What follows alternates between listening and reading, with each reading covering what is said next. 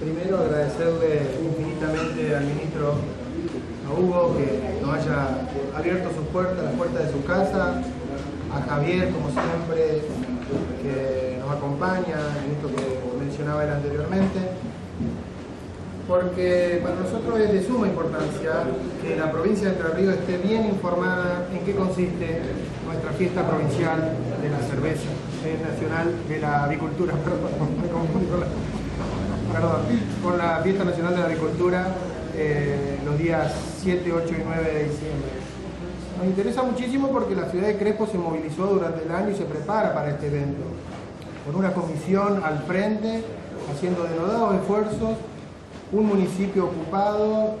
disponiendo de importantes recursos para preparar, la comunidad en su conjunto movilizada a través de las escuelas, con trabajos sensibilizadores de la importancia de la avicultura, porque creemos que en este tiempo, por ahí que es desacelerada la economía, debemos apostar a muchísimo, pero muchísimo más producción.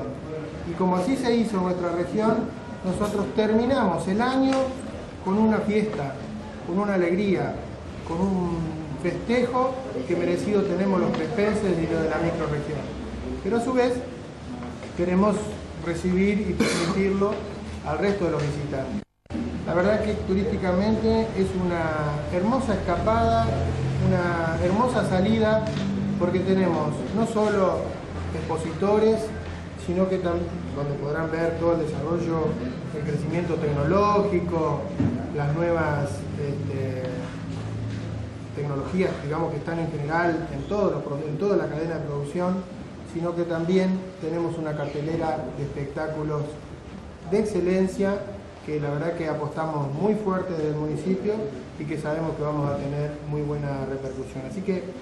de mi parte quiero invitarlos a todos los televidentes a que se acerquen a la Fiesta Nacional de la Avicultura, ya que van a tener una salida alternativa muy, pero muy interesante y van a poder llegar con la familia, ya que los precios de las entradas son muy módicos y podemos aquí en Crespo, en nuestra provincia, tener espectáculos de primer nivel nacional.